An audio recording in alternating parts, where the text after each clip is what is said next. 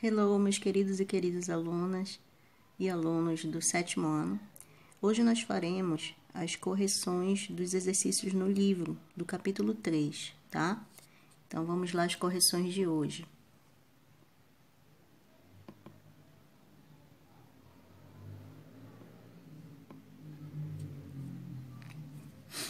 Então vamos abrir na página 10.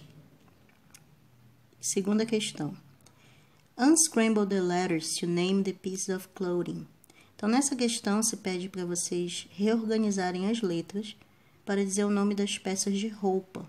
Então, na sequência, as palavras são, acompanhe, jeans, da esquerda para a direita, jacket, dress, skirt, t-shirt, sweatshirt, shirts, shorts e pants ok? Então, essas palavras, as imagens estão aí. É, terceira questão. Terceira questão pede now match the footwear to its name. Ou seja, nessa questão, há imagens, né? E há também as alternativas de A até F. Pede para vocês relacionarem as palavras às imagens, associando é, cada uma das palavras. Reparem que tem letras correspondentes A, B, C até letra F, ok? Então, as palavras são boots, botas, flats, são essas sandalinhas baixas, flip-flops, sandália de dedo, heels, que são os sapatos altos, shoes, sapatos e sneakers, que são os tênis. Então, na sequência fica da esquerda para a direita E, D, C, B, F e A, ok? Então, aí a correção da página 10 na tela. Vocês podem dar uma pausa para verificar se fizeram direitinho, ok? Vamos lá, a próxima página, que é a página 11. Então, na página 11, nós temos a correção agora de um reading time, uma atividade de leitura. Terceira questão. O comando diz, are the following sentences true or false, according to the text?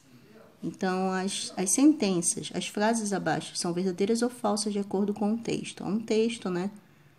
Vocês fariam a leitura e a partir dele é, leriam as frases para observar quais deles são verdadeiras ou falsas, né? Então, primeiro, primeira frase. Shari thinks popular brand name clothes have superior quality. Então, de acordo com o texto, essa personagem Shari, ela realmente acha que roupas de marca têm uma qualidade superior. Então a resposta é true. A letra, a segunda frase, Arfin thinks popular brand name clothes are worth the price. É, o, o personagem Arfin não acha que as roupas de marca elas têm que ser caras, né? Então aí seria falso.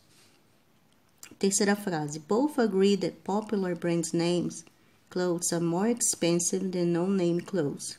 Então, ambos, tanto Shari quanto Arfin, eles concordam que esse, esse tipo de roupa, essas roupas de grife, elas são mais caras que as roupas comuns, populares, né? Então, a resposta é true. Próxima frase. Arfin thinks teens buy popular brand name clothes to feel confident. Então, o personagem Arfin realmente acha que os adolescentes compram roupas populares para se sentirem confiantes. Então, verdadeiro.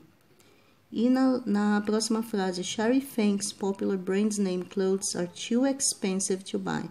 A personagem Shari, ela não acha que a frase aqui diz que a personagem Shari, ela acha, né, que as roupas populares são caras, né? São difíceis de comprar porque são caras. Mas aí no caso seria o contrário disso que diz no texto, então é falso. Então a primeira frase true, segunda false, terceira true, quarta false e a quinta false, ok? Então vamos agora continuar na página 12. Então na página 12, primeira questão. Do you know any famous people? Match each one to his or her description.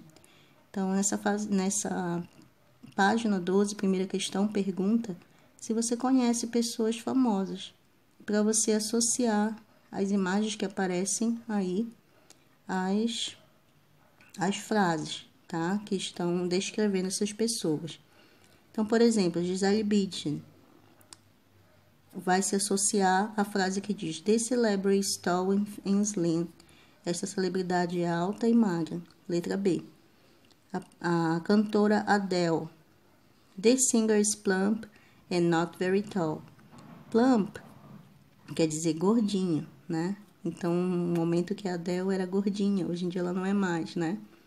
Então, aí seria associada essa frase à personagem Adele, então letra C. Depois diz, The singer is short and thin.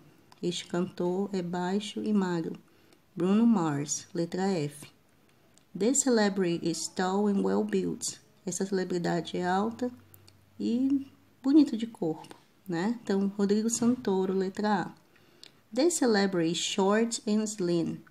Então, essa celebridade é baixa e magro. Então, Harry Styles, né, do, do grupo One Direction. É, the singer is short and thin, na próxima frase, né? Este cantor é baixo e magro. Caso cantora. Selena Gomes, letra E. Ok? Segunda questão. Complete the sentence with the simple past of verb be in the affirmative and negative form. Então, essas frases deveriam ser completadas com o verbo to be no passado na forma afirmativa ou negativa, tá? Então, na letra A, a resposta vai ser na primeira parte, were not, no segundo espaço, was. É, a letra B fica logo abaixo. No primeiro espaço, were, no segundo, were not. Na letra C, primeiro espaço, was, segundo espaço, were, were not, e na verdade o terceiro espaço were. Na letra D, primeiro espaço fica was not e depois was, todo, todos combinando com os sujeitos correspondentes, ok? Página 13. Bom, na página 13 é uma atividade de leitura, reading time. A primeira questão é, são respostas pessoais que vocês devem dar, ler e responder de forma pessoal. A segunda questão, o comando pede read the articles and check if the sentences are true or false. Então, pede para que vocês leiam o artigo e chequem se as sentenças, se as frases são verdadeiras ou falsas, tá? O texto chamado selfies. Então, a primeira frase, de acordo com o texto, é true, verdadeira. A segunda é false.